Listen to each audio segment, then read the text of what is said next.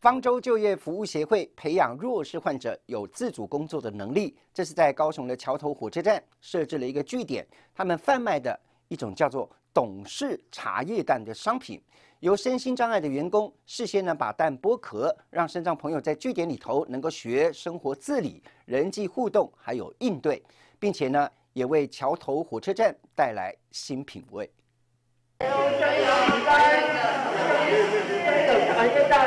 然后你底下。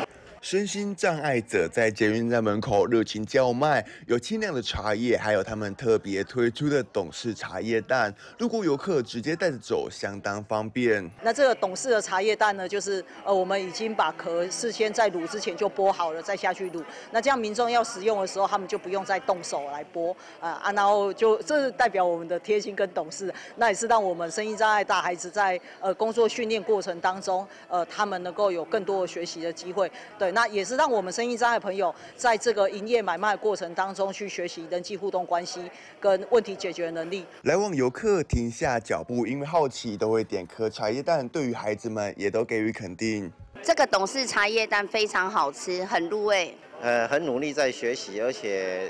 虽然动作有点慢，但是他们真的很用功、很认真。疫情复苏后，大环境缺工，身心障碍者因为不会挑选工作，埋怨环境，反而成为人力资源市场热门。呃，缺工之下，其实对我们身心障碍朋友或者是弱势朋友，反而是比较有利的。因为很多民众他可能不愿意工作，或者是在呃就业上，他们呃的态度可能不一定那么积极。那因为我们训练我们身心障碍朋友有一个工作技能的话，那他们的。顺服度相对跟很多的一般年轻人来讲是比较好的。